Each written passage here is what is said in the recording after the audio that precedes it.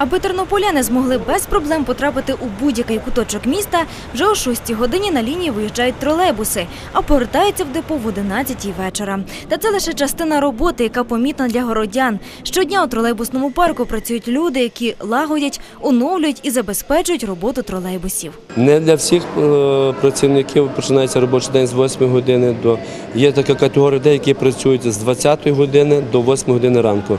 Тобто е, по два дні вони працюють, дві ночі працюють, дві ночі вдома. І бригада ТО-1, яка працює з 8 години до 20 години вечора.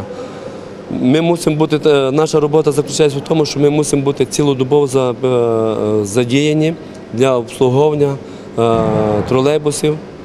Бо згідно наказу номер 120 ми проводимо щоденний огляд. Працівники підприємства кажуть, свою роботу люблять і виконують її із задоволенням. Так вважає і Надія Мандрі. Скоро буде 20 років, як пані Надія працює водієм тролейбуса. Жінка розповідає, коли прийшла на роботу на підприємство, жінки-водії вже працювали. У 92-му році дуже скорочення було. Моя тітка мені порадила. Вона також працює водієм тролейбуса вже 30 років. Порадила сюди йти. Робота державна. Так і пішли сюди, так і працюємо. Чоловік Надії Мандрі також водій тролейбуса. У них одна машина на двох. Працюють позмінно. Навіть ввечері на кухні обговорюють спільний тролейбус. Надія Мандрі каже, попри те, що вона жінка, робота дається легко. Упередженого ставлення від чоловіків водіїв не відчуває.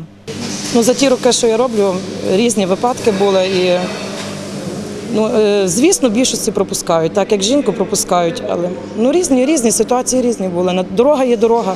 Дуже зараз трудно працювати, так як досить наплив великих машин, зараз досить важко працювати. Колись було легше працювати, зараз важче.